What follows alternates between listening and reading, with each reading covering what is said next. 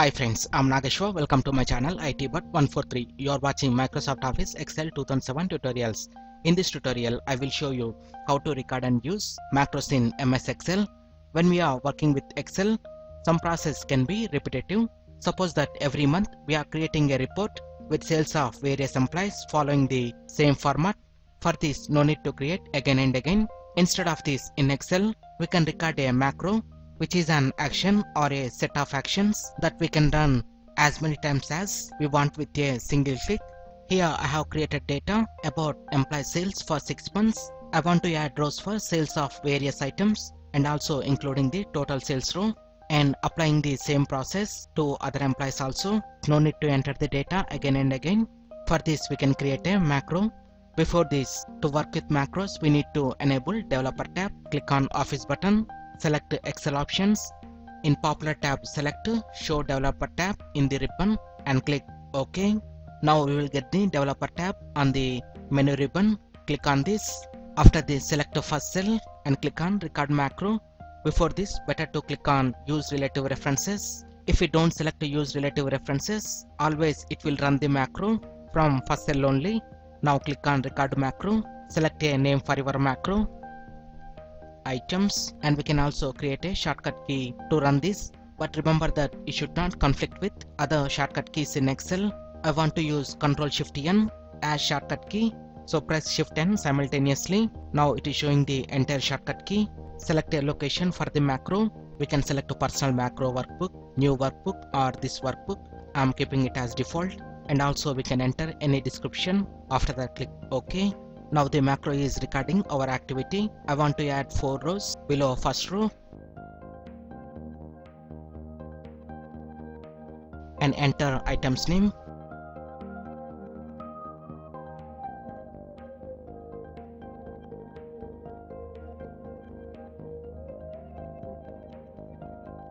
And below item 4 I want to show total. Now let's add a auto sum formula for that come to home menu, click on auto sum, select the cell references and hit enter. Apply this to all the months by dragging horizontally. And if we want we can also format this.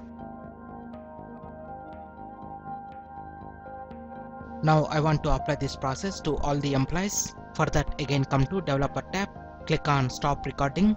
After this select the first cell of another employee.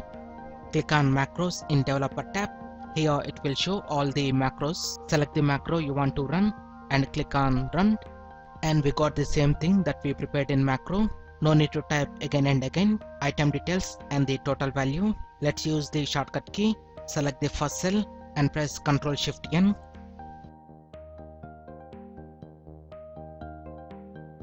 It will run the macro again and again and shows the result here I have another example. I have prepared a format with student marks and notice that I forgot to add some formula. For this let's create a macro. Select the first cell, click on record macro, enter a macro name, select a shortcut key. OK. Here let's insert a new row and type total. Select the other cell, come to home menu, click on auto sum and press enter apply this to all the subjects. Click and drag horizontally. And let's format this. After completing the process again come to developer tab. Click on stop recording. Select the other student first cell. Click on macros. Select the macro you want to add. Click on run. And let's use the shortcut key. Ctrl shift L. Notice that by running this macro it inserted a new row and applied the AutoSum formula. And if you want to create a button for your macro for that click on arrow below insert.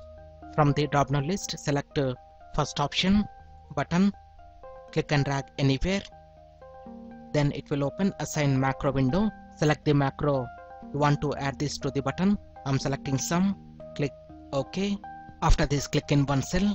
And to apply the macro click on macro button and automatically it will apply the macro. Like this we can record and use macros in Microsoft Office Excel 2007. I hope you like this video. If you like this video please click on like button and please share this video with your friends and please visit my channel ITbird143 to watch more latest uploaded videos and don't forget to subscribe my channel. Thank you friends. Have a nice day.